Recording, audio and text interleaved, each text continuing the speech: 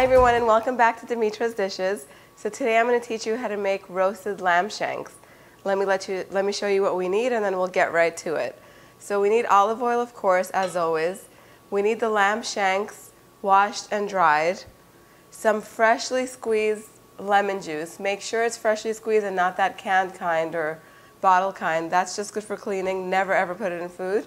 Anyway, we have a little bit of freshly squeezed lemon juice, some black pepper, granulated onion powder, cumin powder, crushed red pepper flakes, lots of whole garlic cloves, sea salt, olive oil, and oregano. I just went ahead and mixed it together, and a little bit of water. To get the exact measurements, you know where to go, dimitrasdishes.com. You'll get all the written out recipes with pictures and everything. This is, uh, this is just a demonstration that goes with it. But if you want to get the, you know, the exact quantity of how much we're using, just go on the website and it's going to be really easy. Okay, so I've already preheated my oven to 450 degrees and I'm going to begin by pouring out some of these already peeled garlic cloves and we're going to make kind of like a bed underneath underneath the lamb shanks. Gonna, they're going to roast underneath. They're going to they're going to add tons and tons of flavor. And I love to buy the already peeled uh, garlic cloves. It saves me a lot of time. I use garlic in almost all my recipes, so why not, right? That's one less thing to do, makes things super simple. Okay, so I've already washed my lamb shanks, and I'm just gonna place them on top of the garlic like that in my roasting pan. And lamb shanks are a really good uh, cut of meat to, to cook with. Lamb, of course, is super delicious. It can get a little pricey sometimes, so lamb shanks are a great way to go if you want to get a little inexpensive cut of lamb. I love that they're individual sized portions, so it's perfect when you're cooking for a big group. Everybody can just take their piece and, you know, move on if you're serving buffet style. And you know exactly how much to make, you know, you don't have to guess. Sometimes they're big, sometimes they're small, so that doesn't really matter. I'm making eight there's six of us here in my house, and these are going to finish in no time. Whatever's left over will get used for lunch tomorrow. Okay, so I'm just going to pour, a drizzle a little bit of olive oil, of course extra virgin olive oil, on top of my lamb shanks, so that way my spices will stick to them while it's roasting. Then I'll put, I'll season it with salt. And I have the exact measurements, but when I'm cooking, this is pretty much how I do it. I just sprinkle on top and make sure that it's coated. I do each side separately. And I can kind of tell because I've been cooking for many years now. But again, I have the measurements on the website if you're new to cooking or if you're not sure. And they're very, very accurate. Um, so just follow those if, if you're new to this. Freshly cracked black pepper. Of course, crushed red pepper flakes, put them in everything. They're not very spicy, and all you need is a little bit, and it just adds that hint of spice, and it goes a long way. So I'm going to use half of my dried cumin for one side, and the other half for when I flip them over. On the other side, some onion powder. Granulated onion powder adds that nice sort of sweetness it's a really, it goes really good with lamb. And we don't need garlic powder since we already have um, the garlic cloves that are going to add an immense amount of flavor. I'm going to turn the shanks over because we need to always properly season. That's where most of the flavor is going to come from. So you want both sides to be seasoned evenly. Okay, so now I'm just going to make sure everything is properly coated and kind of move them around and rub them just like that. I'll wash my hands afterwards, so no worries. Make sure the garlic stays on the bottom.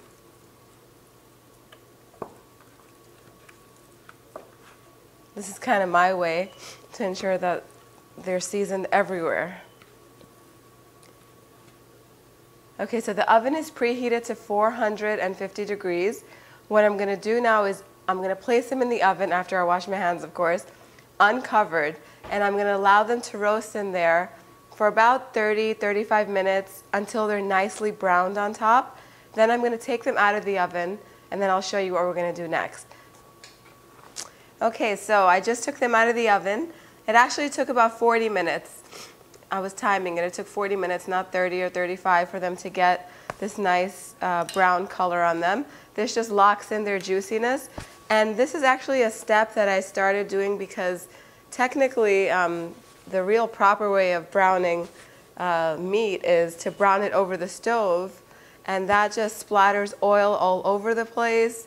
It creates a big mess. It's just one more thing to wash and clean up. Why not just, you know, use the one one pot that you're cooking in to do all the work for you? So I just started doing that, just cooking at a really high heat in the beginning and then just finishing it, off, finishing it off in the same pan for the rest of the cooking process. So it's out of the oven now.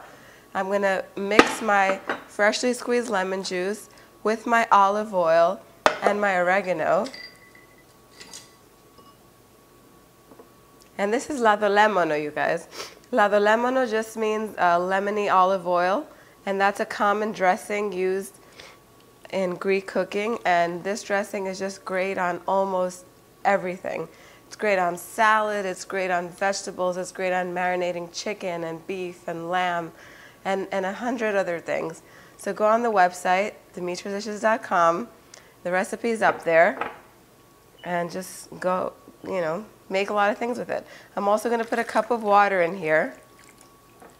And I should actually pour it in here so any flavors that are left in my lemony olive oil bowl will get distributed.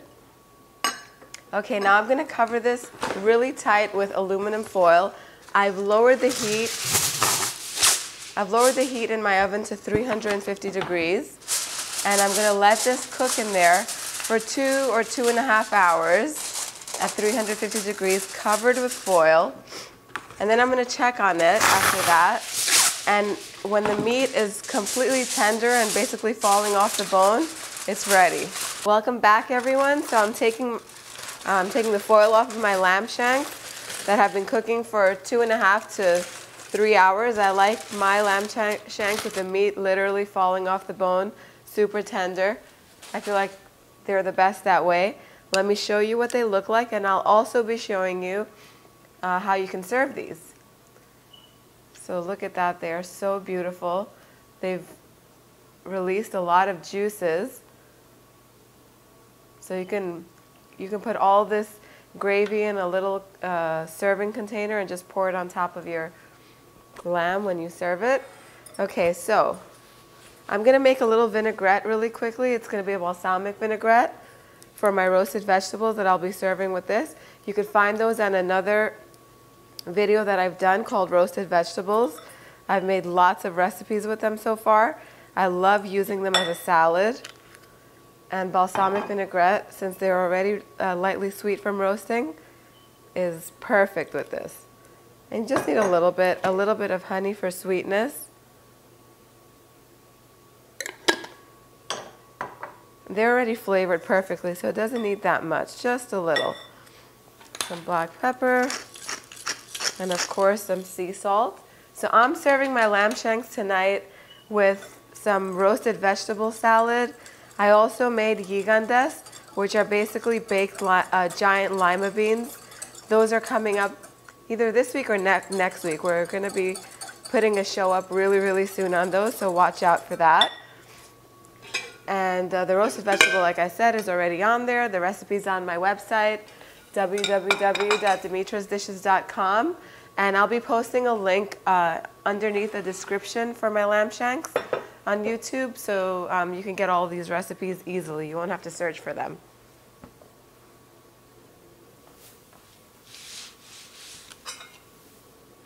So here are my roasted vegetables. Doesn't that look beautiful? Now, I'm putting it in all together. I'll slice the carrots up later on. In an effort to make these videos a little shorter, I'm going to have to cut some steps because no matter how much I try, you guys, I talk a lot. I always have a lot to say. So the videos are kind of long. I'm still working on it. I'm new at this. So I'm just going to pour this vinaigrette over while they're still nice and hot. And that's done. I'll put it all in a plate. Let me show you. Let me get one lamb shank. in there. Let me get some of this beautiful sauce and some of the roasted garlic. That's probably the best part of this. And I think the carrots are probably one of my favorite parts of the salad. And then let's not forget the gigantes. And my favorite part of these gigantes, the, uh, the giant lima beans, are the kind of burnt ones on the edges. Those taste the best. Sprinkle some feta cheese on top. Go on my website, www.dimitrasdishes.com. Get these recipes. I'm going to taste it and make sure it's really good to serve before everyone comes in and eats dinner. I'll see you guys next time. Bye. Mmm.